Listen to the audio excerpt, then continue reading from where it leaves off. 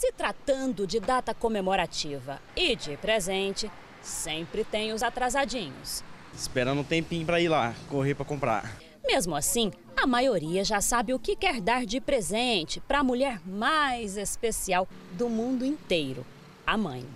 Uma bolsa, uma carteira. O que está pensando em comprar? Calçado, tô dando uma olhada aí, pesquisando ainda. A Beatriz ainda não comprou nadinha para a mãe dela, a Lucilene. E ela já deu o recado. Mas ela vai comprar. Eu tô esperando. Já pediu? Já falou o que que você quer? Já. O quê? Uma bolsa. Vai comprar a bolsa. Vou comprar, é o jeito, né? mãe é mãe, né? Tem que comprar. O Dia das Mães é a segunda data comemorativa do ano que mais rende ao comércio. Perde só para o Natal. E pelo menos aqui no centro de Goiânia, quem trabalha com vendas está otimista. Segundo a Confederação Nacional do Comércio, esse ano as vendas devem aumentar em 3,8%. E após sexta-feira começa o movimento. Sexta, sábado vai ser um grande movimento. O pessoal deixa para a última hora. Sim, com certeza. Deixa a última hora. Mas a expectativa é boa? Sim, com certeza. O povo brasileiro deixa para comprar tudo na última hora, tem expectativas ainda de melhorar.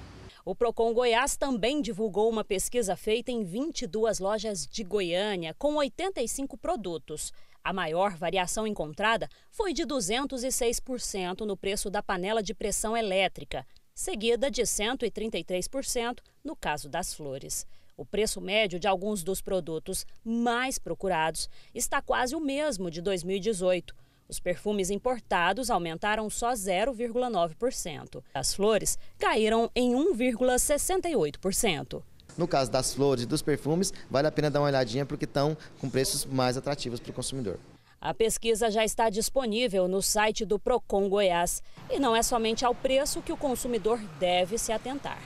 Condições de pagamento que parecem ser muito vantajosas podem não ser a melhor escolha tem várias armadilhas. É, por exemplo, parcelamento a longo prazo. Isso não existe. Então, se o consumidor foi atraído até a loja por causa dessa publicidade, verifique o valor real do produto por meio do smartphone, ou mesmo na loja, outra loja, verifique o valor real desse produto e ele vai descobrir que não tem nada de parcelamento sem juros e evitar também parcelamento a longo prazo, porque aquela parcela que hoje cabe folgado no meu orçamento, pode ser que daqui dois, três meses imprevistos aconteça e já não caiba mais.